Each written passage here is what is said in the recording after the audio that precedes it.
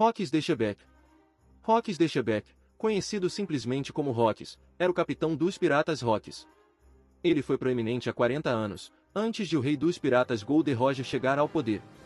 Há mais de 40 anos, Rocks e vários outros piratas chegaram à ilha de Ashinozu para se encontrarem e procurarem um caminho para a fama e a fortuna.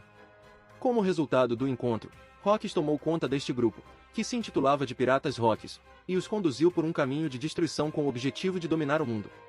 Há 38 anos antes do presente, Rocks liderou sua tripulação em uma missão que colocou em perigo os nobres mundiais e seus escravos.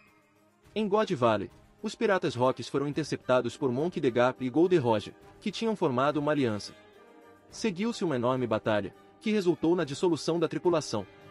De acordo com Sengoku, Rocks não está mais vivo. Legado Muitos dos subordinados de Rock se tornariam piratas extremamente notáveis, particularmente Edward Neugat, Charlotte Linen e Kaido, que se tornaram três dos Yonkou que governam sobre o Novo Mundo. Entre os outros membros, temos Shiki, que se tornou um pirata infame que colidiu com os piratas do Roger várias vezes e se tornou o primeiro prisioneiro a escapar do Impel Down, e o Capitão John, que reuniu um tesouro lendário. O lugar de Rocks na história foi consideravelmente diminuído nas décadas desde a sua morte, com muitos marinheiros mais jovens não sabendo ele é. Segundo Sengoku, essa falta de conhecimento sobre ele se deve principalmente à intervenção do governo mundial, pois seu caminho levou a se envolver em assuntos que eles proíbem. Além disso, devido à falta geral de camaradagem dentro dos piratas Rocks, a maioria dos subordinados do passado não estão inclinados a falar do seu tempo navegando com a tripulação. Aparência Há 40 anos, Rocks parecia ter sido um humanoide com proporções normais, embora parecesse estar a cerca da metade da altura dos seus imensamente grandes, embora não de tamanho gigantesco, companheiros de tripulação. Ele tinha o cabelo comprido que estava preso em mechas grudadas em todas as direções. Ele parecia ter usado um casaco náutico. Personalidade Com base nas histórias de suas façanhas, Rocks parecia ser um homem incrivelmente cruel e ambicioso, não se importando com quem ele atacava, desde que conseguisse ganhar poder para si mesmo e levando sua equipe a destruir quem interferisse em suas ambições.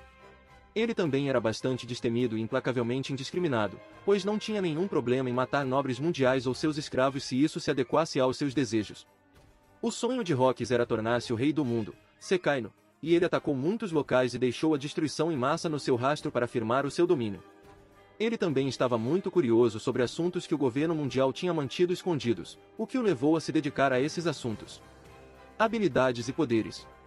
Embora a força e as habilidades individuais de Rock sejam desconhecidas, ele era conhecido por presidir uma equipe de pessoas extremamente poderosas, com personalidades conflitantes e falta de camaradagem, indicando que ele era um indivíduo extremamente poderoso e carismático, e possivelmente a pessoa mais forte de seu tempo. Muitas destas pessoas continuariam a fazer um nome para si próprias, e três delas se tornariam Yonkou. Ele era considerado o mais formidável rival do rei dos piratas Golden Roger, ainda mais do que o seu subordinado Barba Branca viria a ser. Foi preciso a força combinada de Roger e Monk de Gap para finalmente derrotar Rocks. Sua derrota foi também o que fez com que Gap se tornasse uma lenda e fosse conhecido como o herói da marinha, mostrando o quanto ele era considerado uma ameaça pelo governo mundial.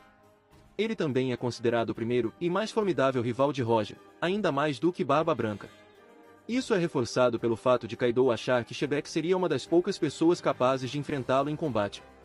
Ele também era um homem muito inteligente e conhecedor, pois estudou muitos assuntos considerados tabu e foi capaz de desvendar muitos dos segredos do governo mundial, o que levou o governo a decidir apagar o seu nome da história. Armas Rocks é visto empunhando uma espada durante a luta com Roger e Gap em God Valley,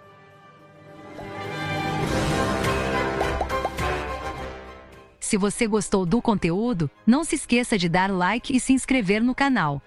Eu fico aqui, até a próxima!